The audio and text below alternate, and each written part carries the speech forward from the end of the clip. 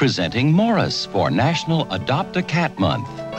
Uh-oh, looks like we've got a new arrival. A cute, lovable, cuddly kitten. The little scene stealer.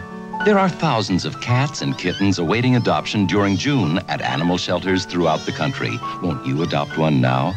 Oh no, not two cute, lovable, cuddly kittens. For a shelter near you, check your phone book. Oh well, at least it's for a good cause.